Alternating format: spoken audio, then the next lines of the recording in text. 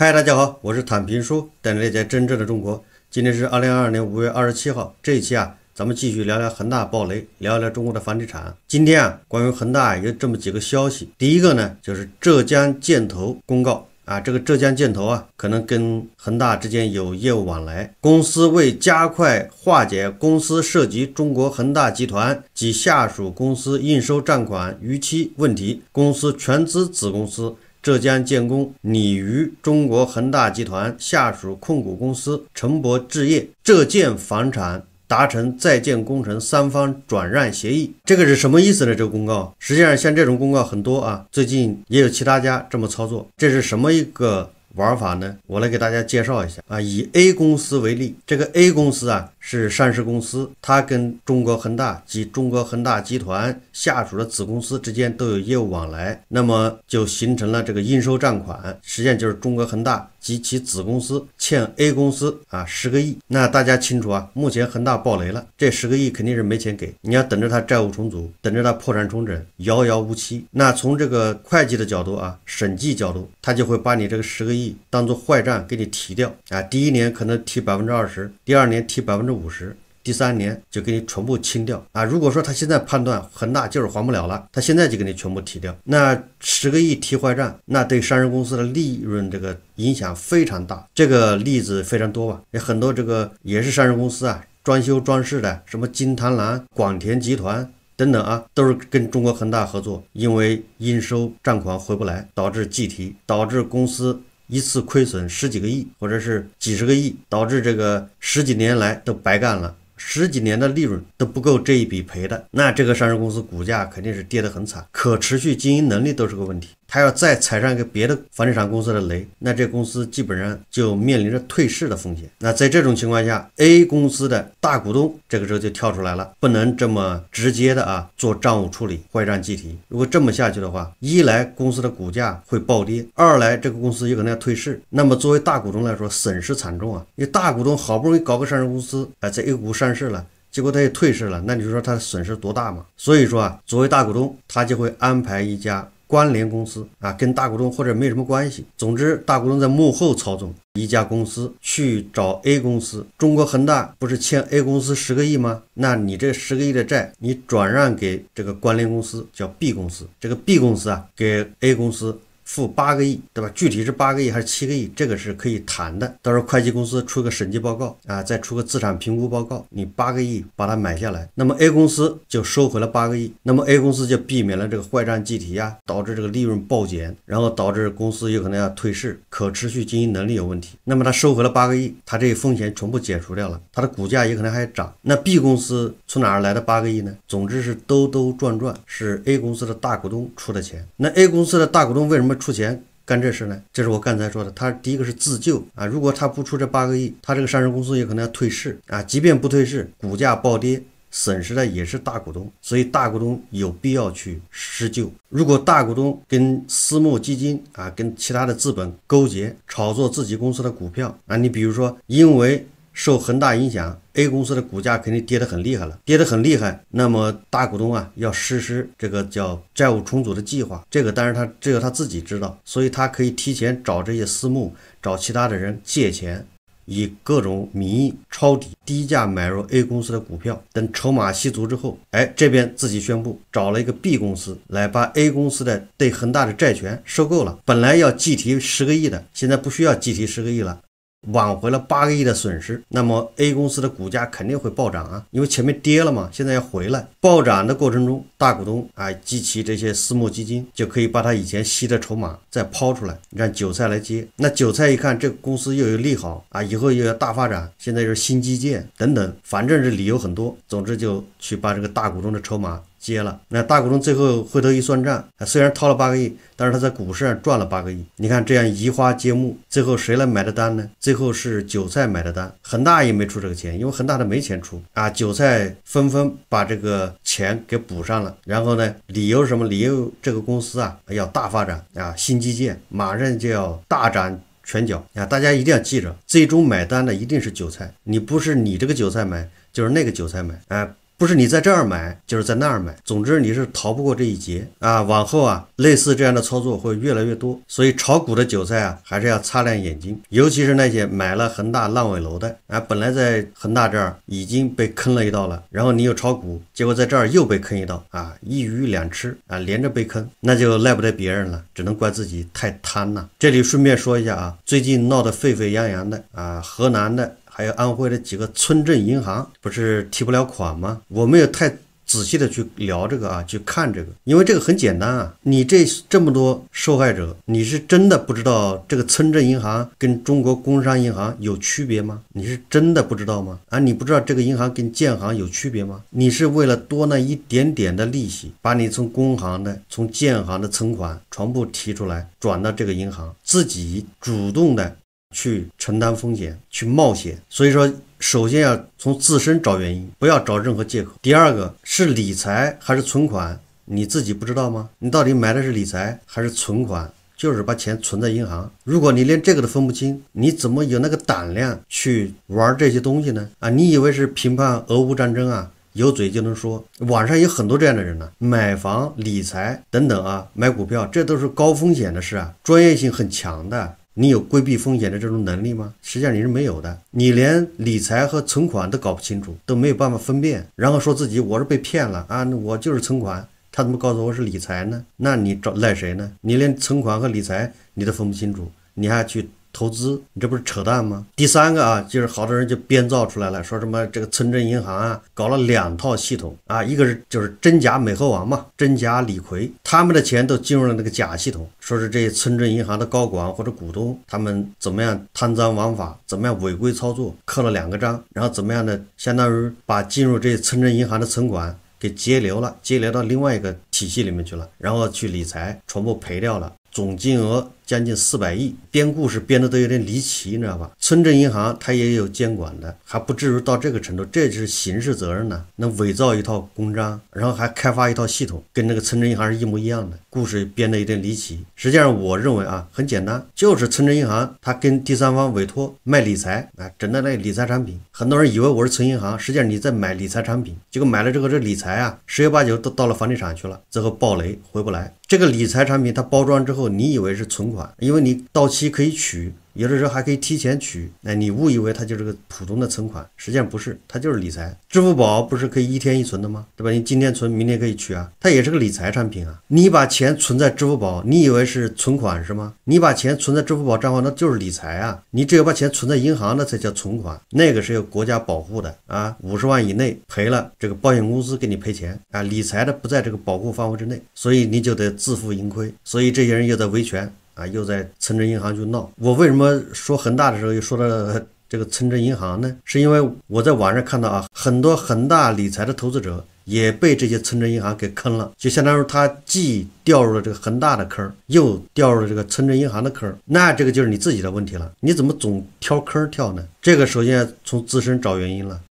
还有一个，我提醒一下大家，在中国啊，搞这些金融的啊，智商都很高，都是聪明人。他们设计的这些产品，你一不小心你就掉到坑里去了，就被他蒙了。所以千万不要以为你比他聪明，你想着赚他那点多那一点点利息，人家盯的是你的本金呐。你把钱存入他的那一刻，他就没打算还给你，他有办法让你源源不断的往里放，因为他利用了你的贪婪啊。这个扯远了。再说第二个，就是央行啊，又再一次的召集了。啊，六大行、十二家股份制银行、五大 AMC，就是五大资产管理公司，然后就十二家问题房企纾困并购业务情况召开专题会议。这十二家房企具体名单为：世茂集团、中粮控股、绿地控股、中南建设、奥园地产、恒大集团、融创中国、荣盛发展、阳光城、荣信中国、佳兆业。广州富力，截止目前，多家 AMC 就是资产管理公司啊，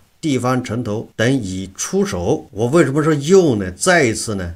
啊，央行召开这样的会议，在我的印象里面，这应该是第四次了吧？召集什么六大行、银保监会，然后十二家股份制银行、资产管理公司啊，然后就这些出险的房企啊进行并购，专门召这样的这个专题会议。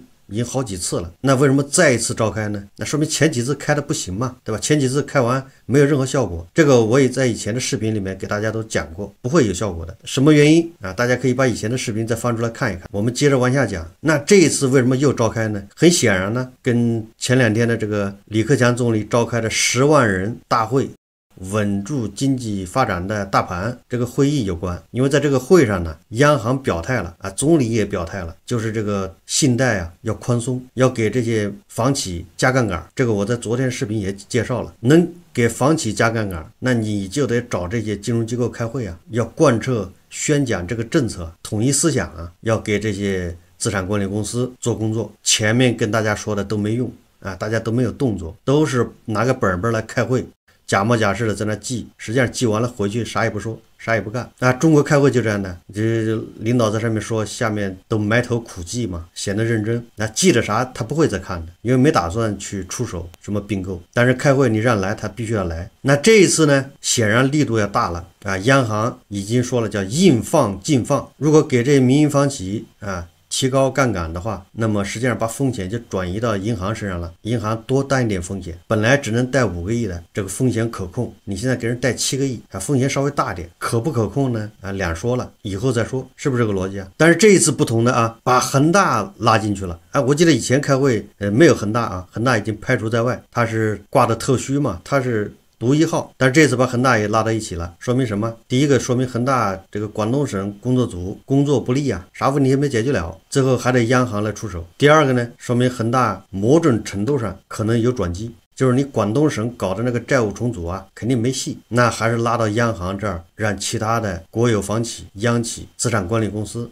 来先对恒大呀进行一轮复苏，把恒大那些资产。挑一挑，捡一捡，先给买走，那恒大的问题就越来越小，对吧？它的资产、它的负债会越来越小，人人家都是城债式收购啊，那恒大这个盘子越来越小。最后才好进入破产重整。那在这个过程中，那恒大的很多项目可能就得救了，因为不管哪个央企把它收购去了，它的项目肯定要做完，最大可能的避免烂尾。最后剩下处置不了的项目进入破产重整程序。但是央行召集金融机构还有资产管理公司啊开这个会有多大的作用呢？我想啊，作用不会太大，因为央行。这次开会和前几次开会唯一不同的就是感觉力度稍微大了一点，但是它没有解决根本性的问题啊！根本性的问题有两个嘛，一个就是房子卖不动嘛，房子卖不动，你央行在这儿整有什么用啊？你又不愿意救韭菜，对不对？你又不愿意给韭菜发购房券，你就是救这些项目、救房企，那你所做的也无非就是把这房子盖起来，盖完不烂尾，最后卖得掉卖不掉啊，以后再说了。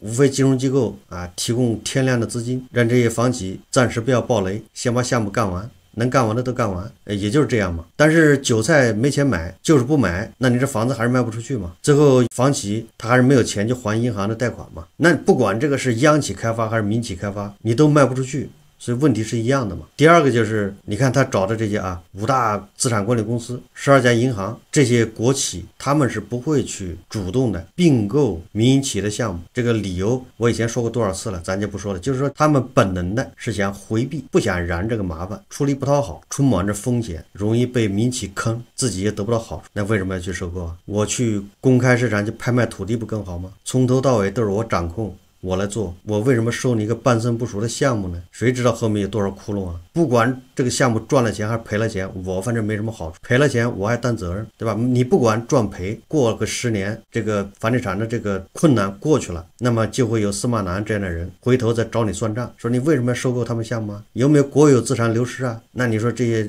央企的头他为什么要干这事呢？是要给他升一级是吗？所以他会找各种困难，对吧？借口就是不收购，逼得没有办法了，那我就收购一个。啥呢？就收购一个跟我有关的项目吧，我也参与过，对吧？像信达，他就会收购。为什么？他下面的这个信托都已经参与了恒大很多项目，你不参与的话，你这信托的钱可能回不来，他是没有办法去收购，因为他已经被燃进去了。其他的啊，跟恒大无关的，人家是有多远跑多远，要回避。对其他的民营房企也一样。现在又增加一个原因啊，增加一个什么原因呢？你看，现在央行明显的是宽松了啊，总理都喊了要救市了，要校正对民营房企什么抽贷压贷的行为，对吧？收缩贷款的行为，你以前做的就做错了，现在要纠正。那这些民营房企啊，那是给点阳光就灿烂了，这些人都不是一般人呐，都不是等闲之辈啊，他们也会看风使舵的。一看这个情况，对吧？马上就要解放了。春天就要来了，我好不容易坚持到现在，你先让我便宜卖，那是不可能的。本来一个亿的东西，我现在要三个亿卖，爱买不买？你看吧，民营房企绝对这么干，这就是博弈嘛。前两个月他要死的时候啊，你给他两个亿，一个亿，他绝对卖给你。但是在今天这个宽松的环境下，你说两个亿，对不起，我要三个亿。你要给他三个亿，对不起，我要四个亿。他总之肯定会这么调的，最后是变成什么？变成你干脆借点钱给我，我把房子盖起来。对吧？我带你分钱就完了。民营房企的老板都是这么想的，他是不会放弃手上的这个任何一个项目的。他放弃那个项目都是没有办法，都是被强迫的啊，强制把它拿走的。许老板在春节之后就喊出了绝不贱卖恒大的资产。哎，这个不是咱们胡说的，你可以看看这个许老板的这个发言呢。你以为只有许老板一个人这么想吗？许老板代表的是民营房地产企业老板的心声，大家都这么想的。救命的时候可以，对吧？我。一两个项目卖便宜点，我要活命。一旦现在喘过气来了，而且眼看着春天就要到了，他会把自己手上的东西卖完吗？卖完他不啥都没有了吗？所以他不会卖的，所以他就会博弈，这就会导致什么呢？导致这些资产管理公司啊，本来是来捡便宜的，对不对？在这挑肥拣瘦的好项目我才买。然后我要打折买，结果这个民营企业老板他不卖啊，跟我在博弈，还加价。那你说这些央企、这些资产管理公司，他们会去买吗？他要跟人家解释清楚啊，他以后跟审计来解释清楚，为什么当初一个亿不买，你两个亿要买呢？这不让司马南们找到借口了吗？所以说，我认为啊，这个央行召集这些什么六大行、十二个股份制银行、五大资产管理公司啊，就什么十二家问题房企纾困。并购业务召开专题会议啊，效果不会太好，可能会比上几次啊要好一点，因为这一次毕竟总理发话了，作为工行、建行，他还会再给恒大贷款吗？他不敢的，因为他是叫终身负责制，你领导能给我写个东西吗？保证以后不查我，没有吧？责任还是落在这个银行的头上，你贷出去的钱，你负责要收回来，那你逼我给恒大贷款，恒大。他明明又还不起，那你不是为难银行吗？那我该怎么办？行长他只能找借口啊，找各种借口，就是不贷，走程序嘛，走流程嘛，批可以对吧？哎，我跟你说，一般就是哎，本来要贷二十个亿的，我我最后东卡西卡的卡成五个亿，五个亿我也不想贷，那我也走流程嘛，慢慢批吧，对吧？就批到总行去，因为你是出险企业啊，我这个支行没有权利批啊，批到总行，看哪个总行行长敢签字，他谁签字谁担责任呢？所以这个程序啊。走半年都有可能，因为大家都不想担责任，都不想借。但是你是任务压下来要让我借，那我就让你签字，这就会导致啊，金融机构啊还是不敢给这些出险的房企借钱。你。会给一个老赖借钱吗？明知他还不起，你说你要借十万给他，你肯定不能这么干啊！银行其实一样的，因为谁签字谁担责任，终身负责制。如果你给恒大借了十个亿，以后要不回来，人家第一反应的是你是不是拿了好处，有没有贪污腐败？恒大有没有带你分一个亿、两个亿的？你说得清楚吗？说不清楚，那你说哪些银行行长愿意去贪这个？浑水，所以他们也会找各种借口，就是不贷。所以啊，从以上几个原因啊，我就认为央行开这个会啊，意义不是太大，解决不了根本问题。那你怎么样让韭菜坐不住啊，跳起来要去买房，拦都拦不住？那这个恒大的问题自己就解决掉了，融创、碧桂园都一样。所以还是看看怎么把韭菜刺激起来，让韭菜感觉到有希望，感觉到明天会更美好啊，感觉到工资啊会一个月比一个月多，让韭菜感觉到现在的房价就是底了，不可能再跌了，只会涨。那么韭菜就会去买房，只要这个韭菜一入市，这些民营房企的问题基本上就解决掉了啊！央行啊这些措施给我的感觉就是不想便宜了韭菜。我也看了新闻啊，有现在啊有些房企，比如碧桂园开始涨价了啊，不仅不降价，还要涨价啊！所以现在就看韭菜能不能坐得住，能不能稳得住，就是不买，看谁耗得过谁。好，这期节目就做到这里，感谢大家收看。如果喜欢我的节目，欢迎订阅转发，也可以在下方留言评论，谢谢大家。